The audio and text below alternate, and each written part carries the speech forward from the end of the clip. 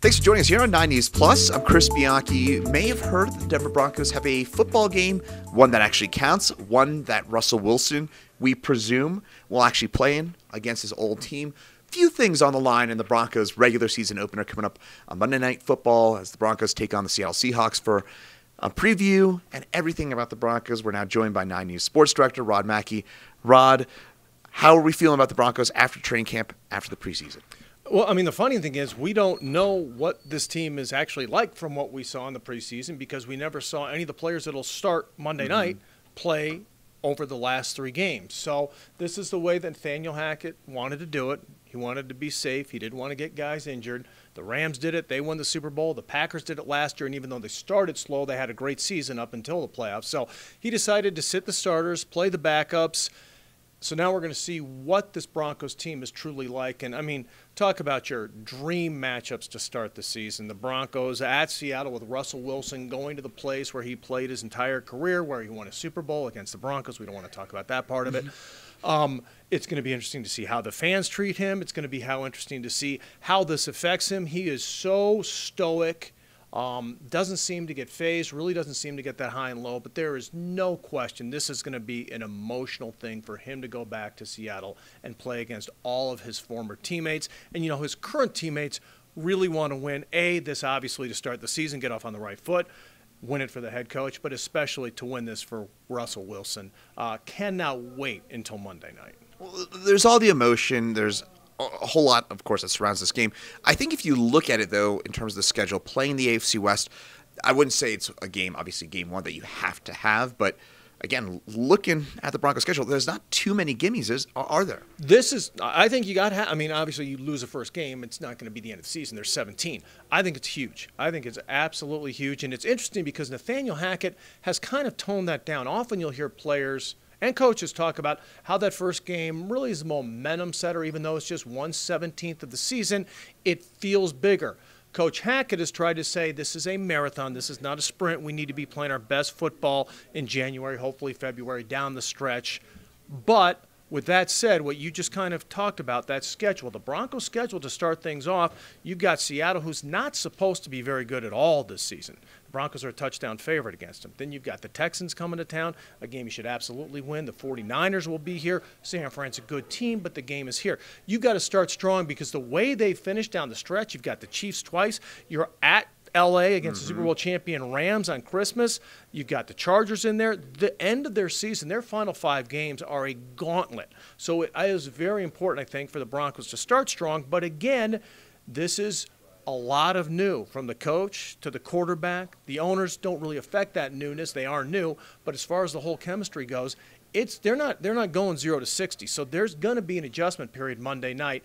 I think against Seattle who is a let's be honest, a lower tier team in the NFL this year versus what they've been in the past.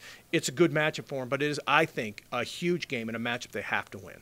How about individual matchups? Uh, Broncos D, uh, any sorts of specific matchups you'll be watching for Monday night? I mean, what I'm looking forward to is, is seeing how the running backs go, how they mix mm. Javonte Williams, with Melvin Gordon. Russell Wilson is, keeps talking about Melvin Gordon. They played together in Wisconsin briefly. Uh, Melvin is going to be a backup to Javonte. Javonte will get more carries. Interested to see how they implement Melvin into there.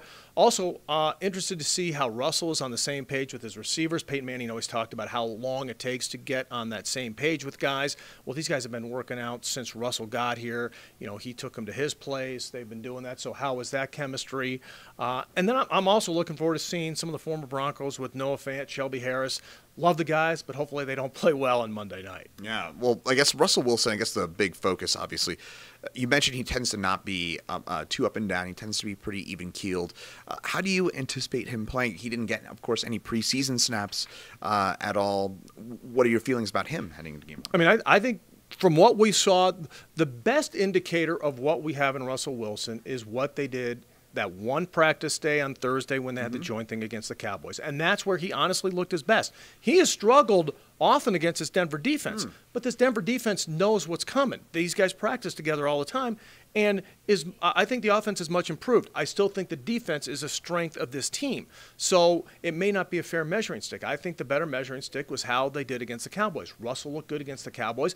I think he's going to look good against Seattle. It is going to be a mental challenge for him to go against Seattle, and I think I don't think deservedly so, but I think the fans will boo him. Yes, he won a Super Bowl there, but he left there, and that's it's what have you done for me lately? And they're going to look at it lately. He left us, so they're going to boo him.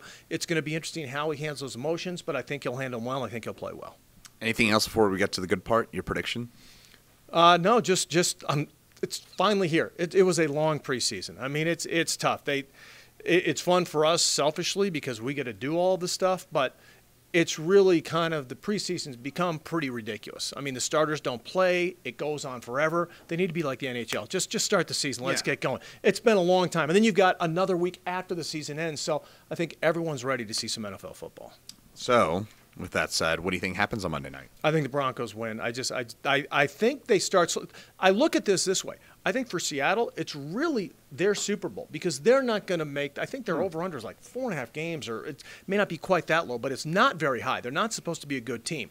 They're not going to make the playoffs. So for them, this is the huge game. They really want to beat Russell. So they are going to be up for it. The crowd's going to be crazy. Everyone talks about Kansas City being loud. I still think playing in Seattle's louder just because of the ambience of the and they, the stadium and the way they pump sound in. So I think Seattle gets out to the early lead. I think the Broncos come back and win it. I think it's going to be close. I'm going to say uh, 23 to 20 Denver. Monday Night Football 1 0 the Broncos start. 23-20. So Broncos win, but Seahawks cover. Um, not, not not getting into Yeah. that too much. Yes. How, how are you feeling about the Broncos overall for the season? Are you you willing to I- give I- us a prediction? No, I want to see what happens. I mean, because I, I really, we don't know. We don't know. This is going to be a big indicator. One season, one game does not a season make, but this will be. This is.